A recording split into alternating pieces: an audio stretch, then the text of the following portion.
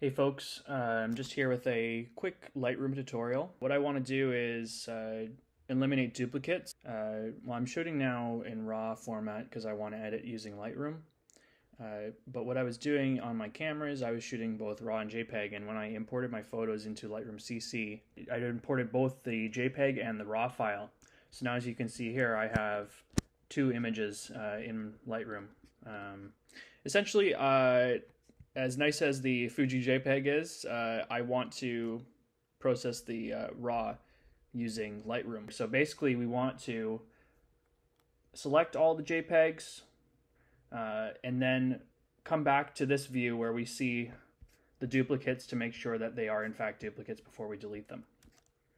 I'm going to do a search up here for JPG. I'll click on that and now I have all my May 2021 JPEGs.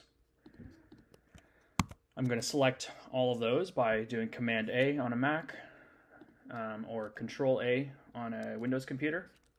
And then now I'm going to remove the JPEG search filter here.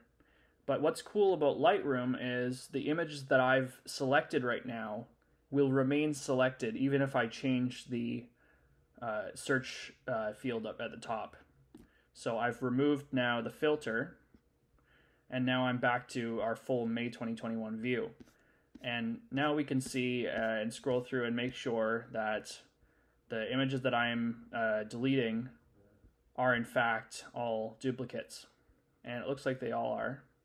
So I'll just, you know, quickly scrolling through and and now we've come to the point in the month where I started basically in May I stopped importing the uh, JPEG files into Lightroom and I only started importing the RAWs because there's just no benefit to having both of them for me. By selecting all of them and browsing through here, we're able to make sure, yep, all of these are in fact uh, duplicates. And now we can just go edit and delete. And that's it. Now we only have the raw files left. And that's it. So thanks for uh, thanks for tuning in. I hope to do uh, some more uh, tutorials like this at some point. And uh, yeah, thanks guys.